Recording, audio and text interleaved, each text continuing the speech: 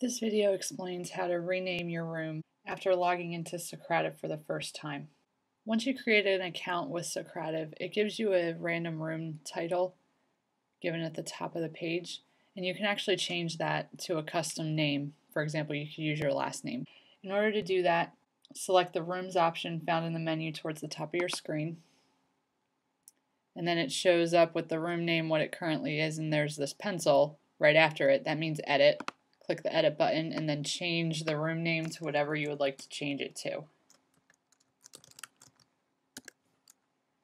And then once you're done, press the save button. To return to the main screen, press the launch button.